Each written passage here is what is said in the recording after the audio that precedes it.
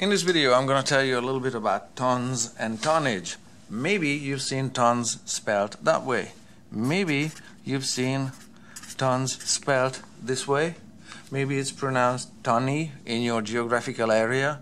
Maybe it's pronounced metric ton, just to distinguish from the other ton.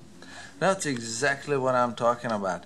We have more than one tons and more than one spelling. And I'm going to tell you a little bit about this topic through the example of these two shackles. These shackles are used by cranes for lifting. On this one, its working load limit is marked in tons as in 10 tons. On this one, its working capacity is, is, is working load limit or capacity is marked in tons, eight and a half tons. That's eight just chipped. Eight and a half tons, and that t is lowercase t, whereas this was uppercase t. That's exactly what's highlighting the problem with many tons. Both tons are units of measurement. This is marked with an uppercase T and it's a unit of measurement in both the US customary and as well as the imperial systems of measurements because those are different. This ton spelled this way with a lowercase t abbreviated as a unit of measurement is coming from the metric system of measurements. So I'm going to tell you why we have these many tons and uh, and I'm also going to tell you which one is stronger.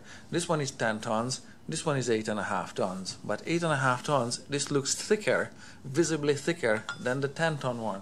So how strong are these shackles? We're gonna get started with the metric first because that's simpler. One ton equals exactly 1000 kilograms. And if I convert this one to pounds, that's gonna be 2,204.6 pounds. Okay, that's how heavy one ton is. This one is also called metric ton or tonni if you want to pronounce it that way. The, uh, out of the other one, I'm going to go with the US customary. So one ton, because this shackle was made in the US, so it is part of that system. One ton it's also known as short ton or just or US ton or US customary ton or one short ton is exactly 2000 pounds. Not 1000 pounds. Now that would be logical but that's not the case here. The figure 2000 uh, we came up with or we, we arrived to that a ton has 20 hundredweights CWT is hundredweight and each hundredweight has 100 pound each. 20 times 100 2000 pounds done. And if this amount this 2000 pounds is converted to kilograms then this is gonna be 907.18 if you like your decimals. There but there are more decimals here as well as there. So you can see that this one the short ton is about 100 kilograms less than the metric ton and the short ton is about 200 pounds less than the metric ton. So they are different.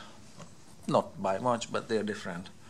So how strong are these uh, shackles? Well this one is 10 tons in the uh, US customary.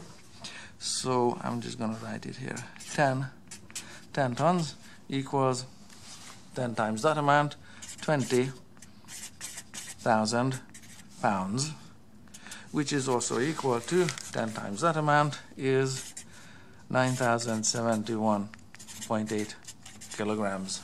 So that's how strong this is. The other one the eight and a half ton and it's made in a metric country in this case Canada. This shackle is eight and a half tons and eight and a half tons means I'm just gonna write the kilograms here so you can see it that's 8,500 kilograms eight and a half times a thousand. Make sense? And this amount converted to pounds will be, uh, let me see,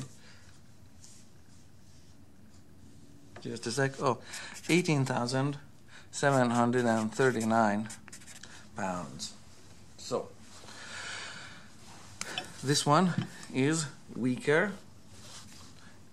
8500 kilos versus 9000 kilos or 18,000 pounds versus 20,000 pounds. Okay, so this one is weaker. How is this weaker when this one looks thicker? If it's made out of a thicker steel, it must be stronger than one made out of a thinner, thinner steel. Well, that has to do with the construction of the shackle. Look at this. This one has a clevis pin. This clevis pin is held in place by a cotter and this can rotate freely. So when someone lifts a load with slings on it and there is an angle here between the slings, this clevis doesn't stop the ends of the shackle from flexing and bending out. On this shackle, the pin has a threaded construction with a big round shoulder on it. And when you lift a load with slings on it and there's an angle here between the slings this construction of the pin stops the ends of the shackle from bending and bowing and spreading okay and flexing. So this one is more rigid. That's why it's thinner but it's got a higher uh, working load limit rating so that's that.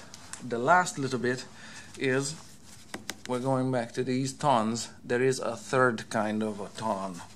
That ton I'm gonna write it here. That ton is called a long ton or it's a ton from the or in the imperial system of measurements. The imperial system started in 1824 with the then British uh, the uh, the British Empire, the Parliament's Weight and Measure, Weights and Measures Act in 1824. The long tons were in use until and legal until 1985, at which point they were uh, outlawed and made illegal. You can still find hardware that's calibrated or marked in long tons this is calibrated in short tons. We know this because this is this has the word or letters USA on it. If you find a shackle, a hook, a chain, or any kind of rigging hardware in India, South West Asia, or Southeast Asia, wherever you are, uh, on old farms that says Sheffield, England, 10 tons, it's probably imperial tons. Okay? Chances are that some of this hardware is still around. Okay, so you're gonna have to watch out for what's actually printed on it. If it says tons and if its uh, country of origin is uh, is India or England or uh, or South Africa, anywhere outside the U.S. and uh, and but previously part of the former British Empire, then you be suspicious and assume that this is talking about the imperial long ton. The imperial or long ton has 2,240 pounds to it. Please don't be dyslexic with that figure. See where the zeros and the fours are placed differently. It's just a sheer coincidence, okay? Just a coincidence. And uh, how they arrived to this figure is that the ton still has 20 hundredweights to it, but a hundredweight in the imperial system has 112 pounds. How they arrived to that 112 pound amount is that a hundredweight, uh, sorry, uh, yeah, a hundredweight has eight stones, and each stone has 14 pounds. So 8 times 4 14 is 112 times 20 is 2240 so that's one explanation. Another explanation has to do with uh, displacement of ships and uh, weight of uh, seawater. So 35 cubic feet of seawater with a density of 65 pounds to the cubic foot each. 64 times 35 is 2240 this Longton was abandoned again in 1985 because of many reasons. Uh, there were uh, one of them is the International Yard and Pound Agreement when the pound was revised by the international community in uh, 1959 but I don't want to go into a history lesson here watch out for Longtons and stay safe. Okay I know my videos are watched worldwide. That's why I put this one in there. If you are in the US and Canada this is what's happening okay? But if you are in uh, Southeast Asia, wherever elsewhere, this might be also applicable to you. So on this job site, to avoid total confusion and mayhem, the manufacturer decided, in this case, to go with just one system. Everything be one system, okay, consistently.